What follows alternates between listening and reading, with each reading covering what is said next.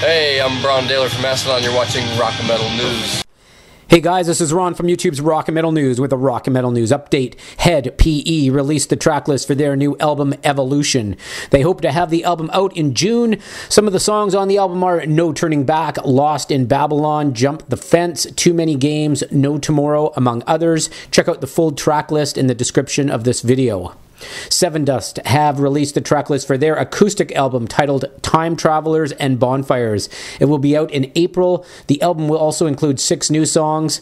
Uh, some of the songs are Come Down, Under It All, The Wait, Upbeat Sugar, One Life, Bonfire, and uh, others. You can check out the full track list in the description of the video. Soils has released Soil has released their Loaded Gun music video on YouTube. The song is off their newest album Whole. You can check that out in the link in the description.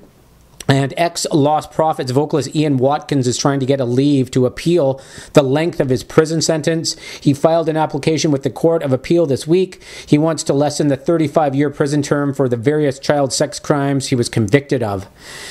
And finally, Tesseract, Intronaut, and Cloudkicker's tour has been officially announced. You can check out the tour dates in the description of the video. This is Ron from YouTube's Rock and Metal News. Thanks for tuning in.